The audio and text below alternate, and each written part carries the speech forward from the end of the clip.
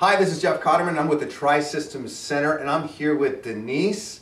And uh, guess what she does? She has a five in the morning small group training class. What is that all about, Denise? Five o'clock in the morning? Yes, it's called Ignite, um, and we get together 5 a.m. five days a week, Monday through Friday.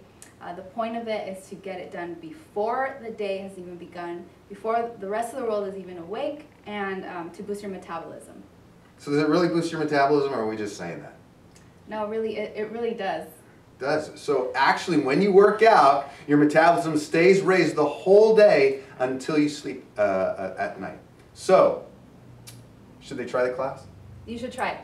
How many other people are doing it right now? Right now, we've got about uh, five other people coming, and um, we're a great team. We um, we root each other on, we cheer each other on, we encourage each other, and um, it's it's really cool. It's really fun.